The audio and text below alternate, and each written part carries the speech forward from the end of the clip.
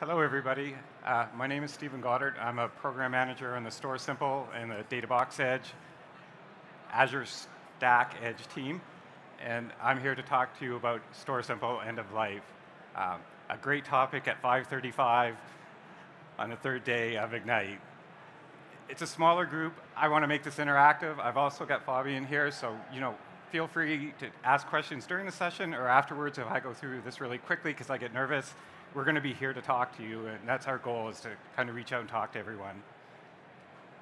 So quickly, our agenda, I'm going to talk a little bit about the end of life, or sometimes it's also called end of support summary, go over some of the solutions we have, kind of compare them, and then talk about the migration roadmap.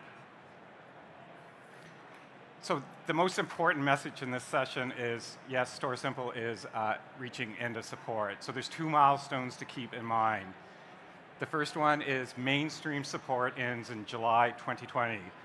So that means up to July 2020, we will be doing bug fixes and potentially adding features. From July 2020 to December 2022, we move to extended support only. That means only security fixes at that point everything keeps working, the portal works, you can still push data into Azure, but if you phone us up and you need a bug fix, unless it's a security level fix, we won't give it, there won't be one forthcoming. We are in lead status, and so that's kind of Microsoft lingo. That means if you're a Microsoft partner, you'll no longer see that on the order sheet. You can't order it. If you're an enterprise customer, you can still order StorSimple, but what will happen is we're going to reach out to you if you order one from now to 2022 and just say, hey, heads up, we want to make sure you understand, you know, this is end of lifing. It's still supported to that point, but you know, it's a small window.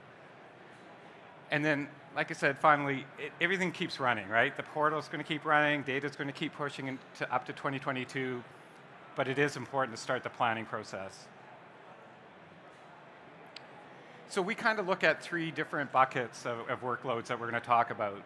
So if you're using StorSimple today as a file server workload, we really think Azure File Sync is your best option, and we'll go into detail there. If it's an archival workload, and by archival, if your data goes really cold, then Azure Storage Edge or Gateway is a good use. And we'll go a little bit more into that. And as we get closer to uh, 2020 next year, we're going to start getting into third-party hardware options as well. So let's quickly talk about Azure File Sync. So Azure File Sync, I think, is a really good fit for StorSimple because it has that same concept of tiering data locally, pushing cold data up into the cloud. But I also add it has a lot of other functionality. So it has a global namespace. You can have branch offices. Everyone sees the same list of files. Uh, so I think it's a good fit because it has all the StorSimple features, but it has extra features on top of that. You can also use cloud backup It integrates with Azure Backup as well, if you, as well as the file sync. If you look at the Azure Stack and Database, Databox Gateway products, um, and by the way, I might call it Databox Edge. We just rebranded it yesterday. It's Azure Stack Edge, same product, just different name. The real quick summary is Azure Stack Edge is a hardware appliance. It's a 1U. It has a storage gateway built in. It also has uh, built-in cloud compute via IoT Edge. Databox Gateway is a virtual machine, no hardware, and it just has a storage gateway, and both are cloud managed. And I just, I want to spend a second on the storage gateway because it's really important, the role. The storage gateway presents itself as an SMB or an FSNAS.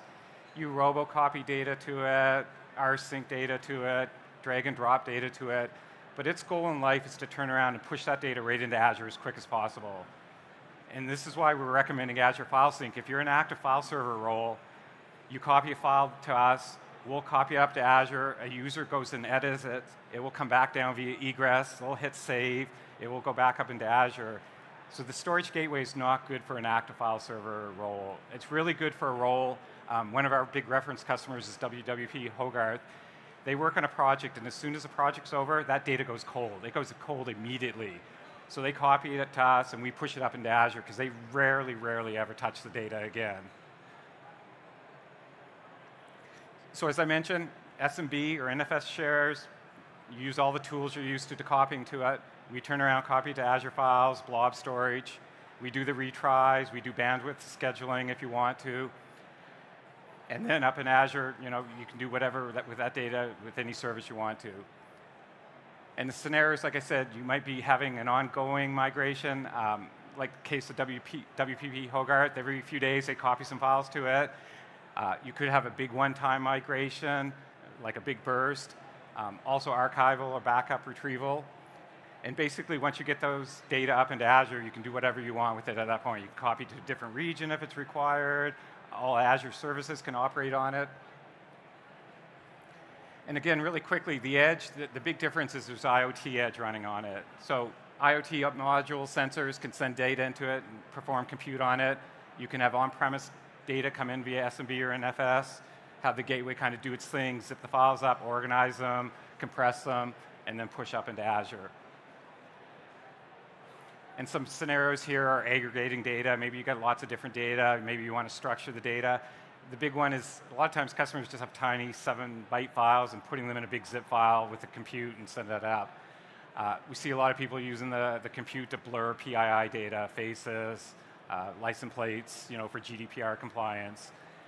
And then again, you're able to process that data locally where the data is in case you don't have a good connection back to Azure. So out on the docs.microsoft.com, there's kind of a table that we go through the different products. I'm not going to go through all of them. The main one I kind of want to reemphasize is, you know, general file server, Azure File Sync is your best answer. If you do need some compute, as well as a storage gateway, Azure Stack Edge is probably your best choice. And then if you're just purely pushing cold archival data to Azure, the, the storage gateway is probably the best way to go. Um, and again, the URLs here, that's all out there. So let's talk about migrating from StorSimple. So this first solution is just about, let's say you're not really actively using your StorSimple, you have some data in Azure. A really important note, I don't know, has anyone ever looked at the StorSimple data in Azure with File Explorer, Storage Explorer? It's all deduped, right? It doesn't look like what you think it would because we have it in a proprietary format. So if you wanted to unlock that data that's you know, not an active workload, but you want to unlock that data to use with other Azure services, I would recommend using the data management service. It's a GA service that'll basically transform from that proprietary StorSimple format into native blob and Azure files uh, format, and then you can unlock that data, so to speak. And again, that's kind of just the case where you just want to move the data. You're not actively doing workloads. Um, and an important note, that only works with StorSimple 8000 series today. So let's talk about the StorSimple migration going from StorSimple to Azure File Sync. So first step, you know, you clearly have your appliance, you have your storage users. Some storage is tiered here, backups go up to the cloud, cold data go up to the cloud. So the first thing you do is you take a volume, you know, you clone it, and you mount it through a, a storage virtual appliance. You, there's two choices. There's an 8010 or an 8020. 8020 is like for 64 terabyte file shares. 8010 is a smaller file share limit. Then you start up a VM, you connect to it via iSCSI. You install the Azure File Sync agent on that, and then you mount the shares as you need it. As pointed out, you could also have a local file server on premise for performance. At that point, the agent's going to start doing its thing. It's going to start copying all the files over. When it's done, all the files are copied over. The next step becomes, and this is where some downtime happens. So you take user access away from the, the volumes. You do one more clone, and the idea is at this point you've already migrated most of your data, and this time when you're migrating, you're only getting the deltas from that last migration, and the idea is to minimize downtime there. That data will come over, and then at that point, you can start looking at decommissioning the StorSimple, the virtual appliances, and the VM as well that was migrating your data and you have the native Azure File Sync solution in place. Fabian has nicely handed out cards, um, and he's here and I'm here to talk. They're providing a white, a white glove migration service um, to, to help in this step. So really quickly, is anyone running Model 1200, StorSimple Model 1200? Okay, so I'm not going to, we don't have a great story here at the moment. We're actively working on that. I would recommend if you do want to move really quickly, you can contact support. We do have some manual tools to do, like host copy and stuff like that. Um, are, are, you in a hurry to move off? Uh, okay, okay. So sorry. um, it's, it's basically, we're still under development. We, Microsoft works in six-month uh, semesters, so the work plan for that is from this January to June. And it will look very similar to what you saw earlier. So things to keep in mind really with migration paths and stuff like that is, you know, how, how much data do you have? And the reason I bring that up is if you have to do a host copy, that data has to come from the cloud back down on premise, and that's egress. So that, that factors in on the solution you pick.